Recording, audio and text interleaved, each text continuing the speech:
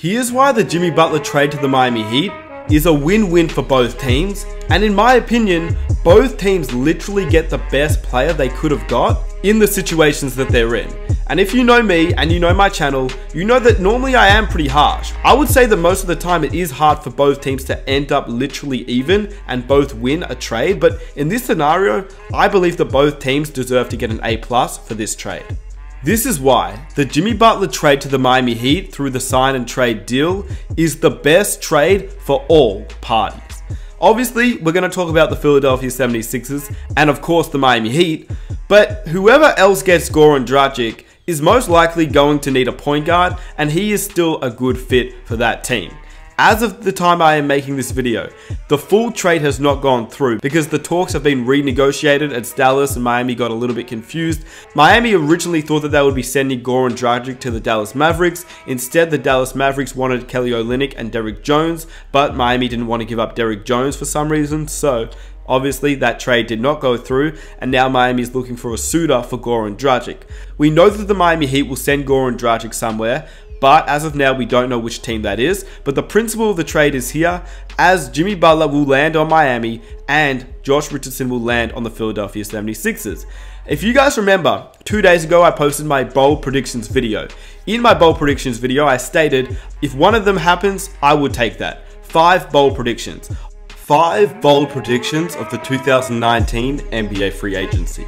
Number three, Jimmy Butler to the Miami Heat. Obviously, with my actual predictions for the NBA free agency, I wanted to get all of them right. Obviously, it's incredibly hard, but on the first day of free agency, I thought I did okay. There was a few that I was unexpected, especially D'Angelo Russell to the Golden State Warriors. I didn't expect Al Horford to sign with the 76ers, but for majority of them, I was happy. In saying that, Jimmy Butler to the Miami Heat. How it is a win-win for both teams, let's break that down in this video. If you guys enjoyed the videos, I've tried to get three up. The Jimmy Butler one, the D'Angelo Russell one, and the Brooklyn Nets one with Kevin Durant and Kyrie Irving. So if you guys are enjoying them, be sure to leave a like as that supports the channel. And if you're new around here, be sure to hit that subscribe button. Without further ado, let's get into it. First of all, let's look at the Philadelphia 76ers. After starting off this free agency, losing a pretty core piece to their roster in JJ Redick, they needed to go after a shooting guard. They managed to re-sign Tobias Harris, so that locked up Ben Simmons, Tobias Harris, and Joel Embiid as a core three. But with losing JJ Redick, I don't think you could pick a better guy than a guy like Josh Richardson. Obviously, as a Heat fan, I got to watch a lot of Jay Rich. I saw him develop from a second round pick to a guy that played behind Dwyane Wade, learned from Dwyane Wade, was one of the best defensive guys in the league, but not only that, he added to his offensive game this season, and he started to steadily improve his offensive game. He didn't obviously come into the league as someone that was tainted a potential all-star, but with his time in Miami, he's slowly risen up and showed that he has all-star potential talent. Now, after the 76ers lost JJ Redick, a guy that is one of the best shooters, this guy is not bad. Of course, JJ Redick and Josh Richardson are quite different as JJ Redick is a much better shooter, but Josh Richardson is a much better defender. So, if I'm the Philadelphia 76ers, I would almost take Josh Richardson over JJ Redick, and this is why. Number one, Josh Richardson is a far better defender than JJ Redick, and that was something that teams would actually abuse when they faced the 76ers. Teams would just ISO on JJ Redick. The second thing is the age. Obviously, JJ Redick is quite a bit older than Josh Richardson. Josh Richardson is 10 years younger than JJ Redick, as JJ Redick is 35 years old and Josh Richardson is 25. The third thing is the contract. Josh Richardson was already under contract, and for two more years, you're paying Jay Rich $11 million a season with a player option for 11.6 million in 2021.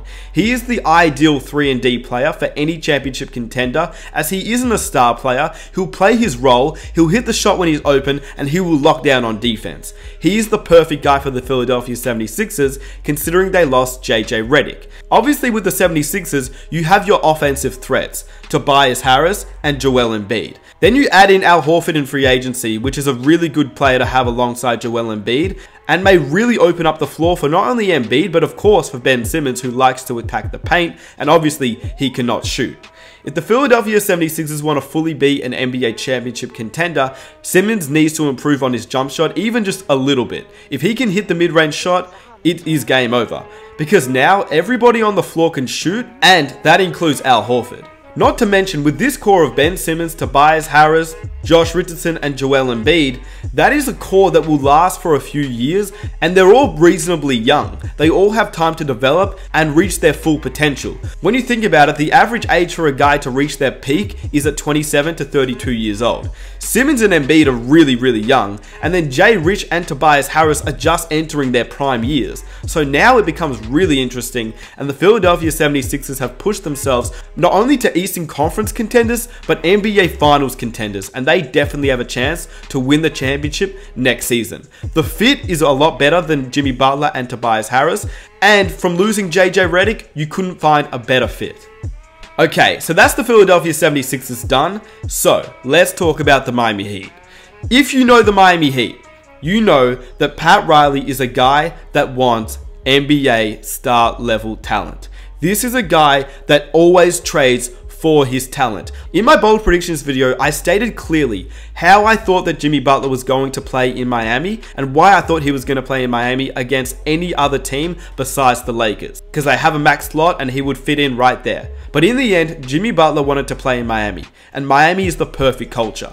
The reason why Jimmy Butler didn't like Minnesota is because he didn't think his teammates work hard enough. If you know the Miami Heat, you know that they have a culture of working hard. That is what they do. They're in Miami, so that's a destination city for future free agents. They have another max spot in 2020 when Hassan Whiteside and Goran Dragic come off the books, which means that Jimmy Butler knows he could have a star level talent next to him as soon as next season. But even if Miami strikes out in 2020 and doesn't get any free agent, the Miami Heat still have a decent core. Justice Winslow, Bam Adebayo, Tyler Herro, Hassan Whiteside. These are guys that can definitely produce alongside Jimmy Butler, and Miami wants that star player. They have been desperate for star power ever since LeBron James left in 2014. Pat Riley is the guy that gets all star level talent to this team. Tim Hardaway, Alonzo Mourning, Shaq, Chris Bosh, LeBron James. He is the guy that goes after big name players and lands them when he can. On the one hand, you lose Jay Rich, but on the second hand, you gain what Jay Rich does, but an even better player, and a guy that other players entering free agency will actually want to play with. He's a proven all star and a proven man that can lead this team. The second thing was the Miami Heat were able to sign Jimmy Butler to a 4 year max as opposed to a 5 year max, which is actually quite good because 4 years is enough time for Miami to build around Jimmy Butler and get another star piece. But if it was 5 years, that is quite a long time for a guy who is reaching 30 at the start of this season.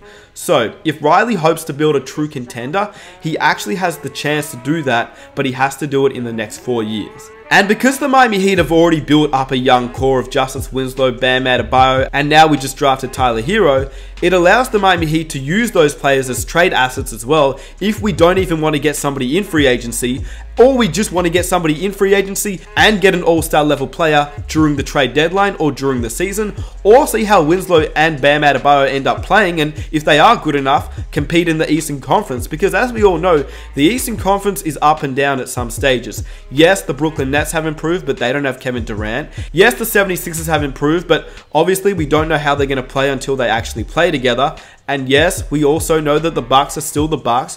If the Raptors lose Kawhi Leonard, then that leaves them in a sticky situation. So, as a whole, the Miami Heat could be in a strong position to do well in the Eastern Conference. Whether they land Jimmy Butler a second star or not, they are still in a great position because they have the trade assets, they have Pat Riley, and they have a max spot in the summer of 2020. And Jimmy Butler is still an all star level talent to join the Miami Heat and lead them as he wants to do. Jimmy Butler has stated he wants to be a leader on a team, and in my opinion, the Miami Heat is the best team for him.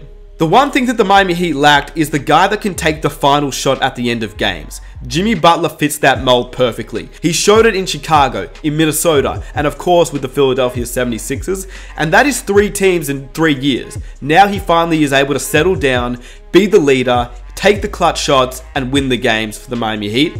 And that's all the Miami Heat needed. So with that said, let me know what you guys think down below. Do you think that the Miami Heat got a steal with Jimmy Butler? Do you think it was a fair trade for both teams? I don't think anybody lost. In fact, I think both teams won. So shout out to both teams. And let's see how the Miami Heat go with their new superstar in Jimmy Butler. With that said, if you enjoyed this video, be sure to leave a like, subscribe if you're new, follow me on Instagram, hit the notification button, and I'll catch you guys in my next video. I'm out.